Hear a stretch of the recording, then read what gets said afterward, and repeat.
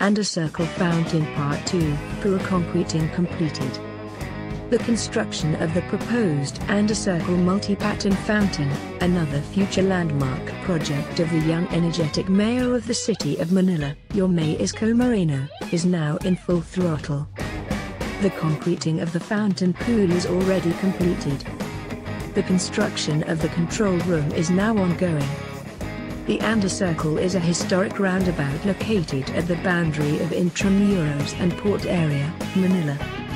The fountain will be built inside the octagonal enclosure which forms the perimeter of the monument erected in honor of Simon and E. Salazar, who was the Governor General of the Philippines from 1770 to 1776. Coming soon. Anda Circle Fountain Part 2, Pura concreting completed. The construction of the proposed Anda Circle multi-pattern fountain, another future landmark project of the young energetic mayor of the city of Manila, Yorme Isko Moreno, is now in full throttle.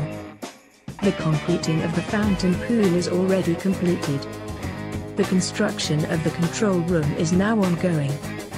The Anda Circle is a historic roundabout located at the boundary of Intramuros and Port Area, Manila. The fountain will be built inside the octagonal enclosure which forms the perimeter of the monument erected in honor of Simon Anda. Salazar, who was the Governor General of the Philippines from 1770 to 1776. Coming soon.